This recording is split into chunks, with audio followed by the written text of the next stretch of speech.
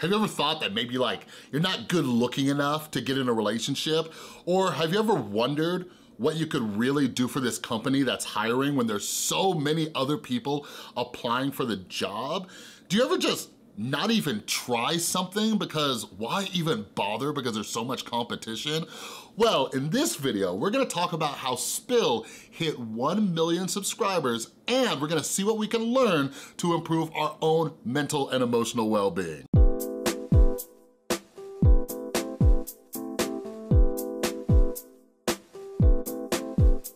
What is up, everybody? This is Chris from The Rewired Soul, where we talk about the problem, but focus on the solution. And if you're new to my channel, my channel is all about mental health, and what I try to do is take different topics going on in the YouTube community and try to see what we can learn from them, from either their mistakes or their successes. So if you're into that stuff, make sure you subscribe and ring that notification bell. And if you're not, please do me a favor and follow me over on Instagram and Twitter at The Rewired Soul because I have so much cool stuff going on and I need your help. So two quick things before we jump in this video. First one is, I just posted this on Twitter and Instagram. Some of you saw me mention this a couple weeks ago. I am working on this massive massive kind of support group mental health project and I need your guys' help. So I am going to be starting a Facebook group and a Discord server, but before I get that launched, I need people who are willing to volunteer. So if you're willing to be a mod, if you like know Discord and like automations and stuff, but I also need people who are good at like organization and creating documents. So anyway, shoot me an email at therewiredsoul at gmail.com if you'd be down to volunteer and be part of this project I'm working on. Uh, I can't pay you because you're volunteering and I'm broke, but I'll like give you a free copy of one of my books or something like that. I'll hook you up, all right? Second thing is, stay tuned until the end of this video because our second Shane Dawson palette giveaway winner is being announced at the end of this video. All right, so let's jump into this. I was over on Instagram just doing my thing earlier, and I saw that the channel Spill just hit 1 million subscribers. And they posted this little thing of the little girl from Spill, and it was like, yay, 1 million subscribers. So we're gonna talk about that and see what we can learn from it to inspire us because I think there is so much to learn from Spill's journey on YouTube that we can all take into account for our own lives. Now, before we go into that, like for anybody who's new here, if you don't understand why I use what's going on in pop culture or the YouTube community to try to teach lessons and see what we can learn from it, it's because of this. Seven years ago, I was dying from my drug addiction. I had about a 10% chance of living. And I was absolutely hopeless. I did not think that I could overcome my addiction. The only, the only reason that I'm alive today is because I learned from the successes and the mistakes of other people.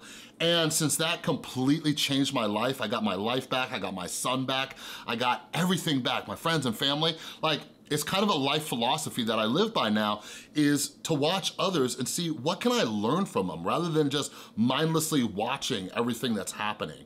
You know what I mean? So let's talk about Spill and let's kind of talk about their journey here on YouTube and just kind of summarize it a little bit.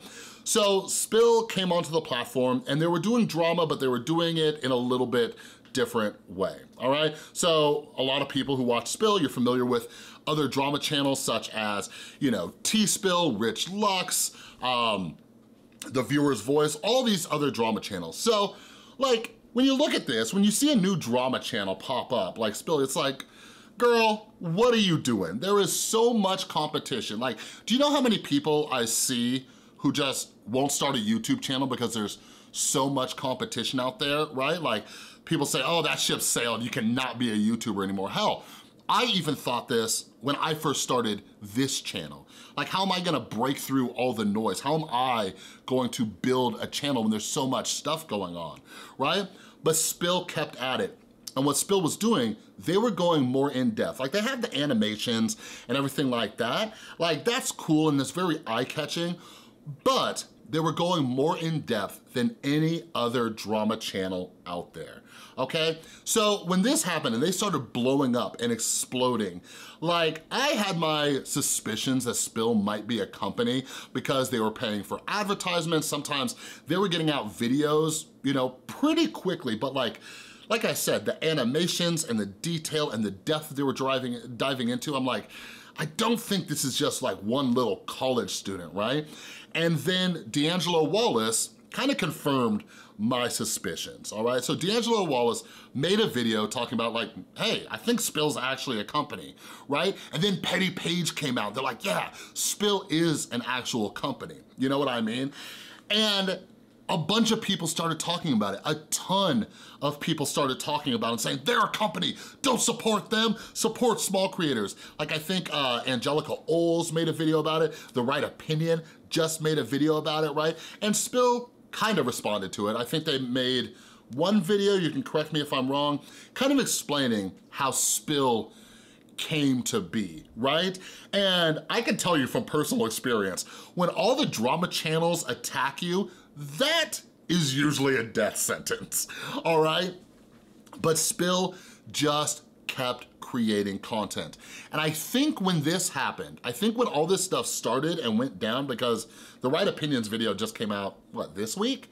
Maybe, or, or was it last week? Either way, like I think they're at about 800,000, but they just cracked a million, okay? So I want you guys to just think about this. Like there's so much to inspire us from this story, okay? Like, Spill came on YouTube and got into a genre that has so many people already in it.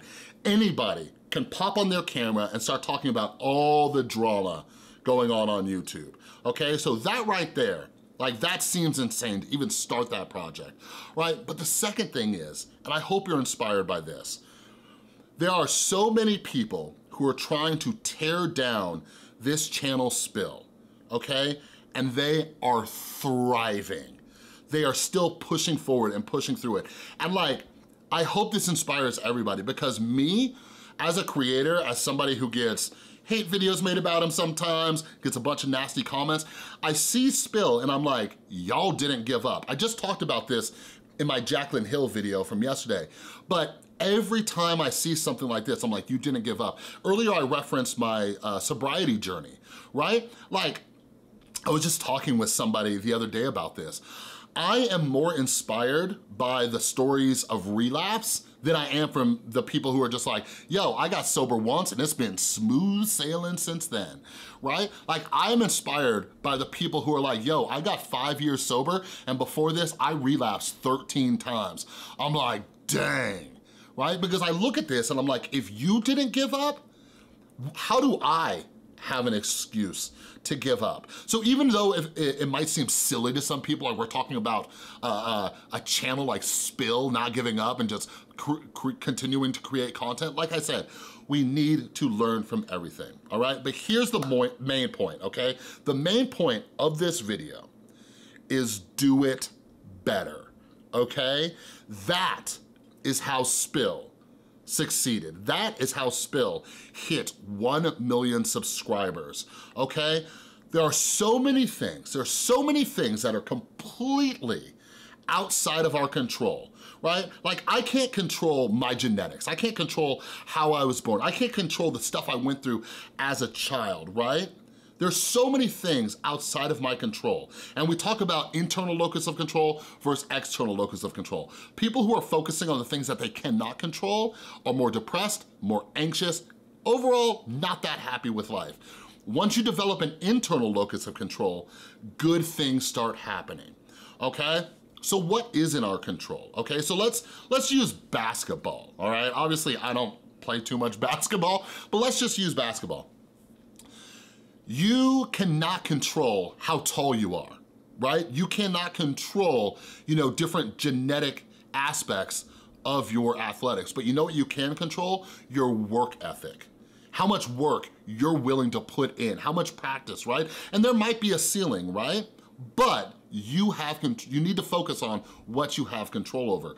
So when I see Spill breaking through all of the noise here on YouTube, especially in the drama community, they have put in more effort.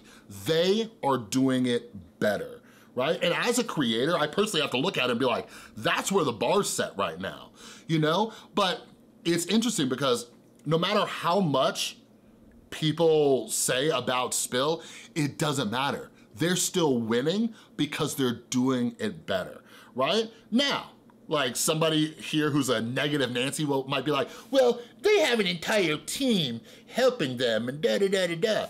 It doesn't matter. Nobody cares. All right, like none of that stuff matters. The reality is they're doing it better. So you either try to step up your game or you quit whining right? But for all of us, like I was saying earlier, like you might be like, oh, how am I ever gonna get in a relationship because I'm not all that good looking?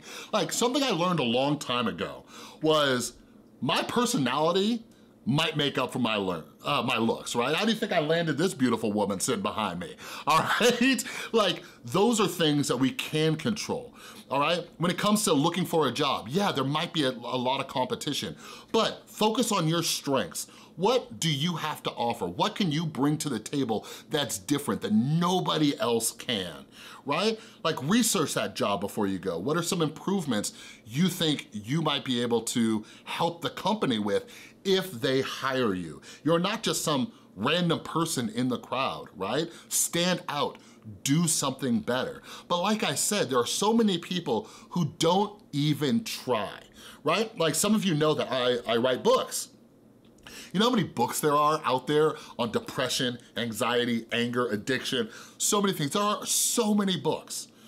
But I'm trying to see how I can do it different, how I can do it better okay? The last thing I'll talk about is with my YouTube channel. It's not a great example because I'm not like blowing up right now, but I did manage to, I did manage to hit over 100,000 subscribers before I lost a lot of subscribers. But anyways, like one of the reasons that I feel my channel has been even somewhat successful is because I decided I was gonna do it different.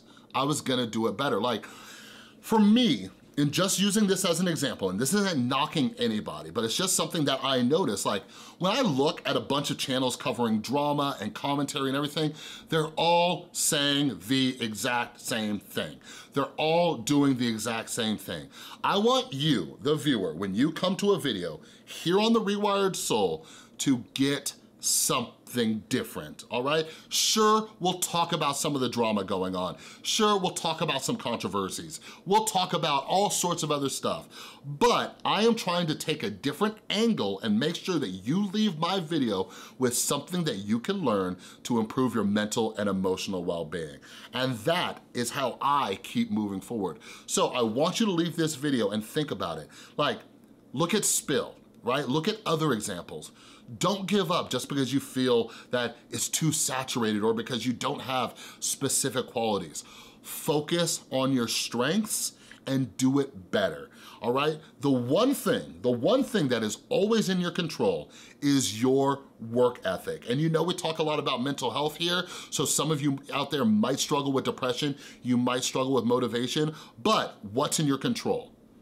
If you get help if you choose to get help, seeing a doctor, getting on medications, right? Seeing a therapist, learning how to work through your depression, your trauma, your anxiety, whatever it is, all right? Like I mentioned, that project that I'm working on in the beginning of this video, joining our Facebook group or Discord server that's gonna be launching, eh, hopefully in this next week. Like these are things within your control that you can start doing to improve yourself and start building your motivation, all right? So that's what I want you to think about, all right? And now you're all like, shut up, Chris. Thanks for this inspiring talk to help improve my mental health. You're welcome, but who is the Shane Dawson palette giveaway winner? So, drum roll please.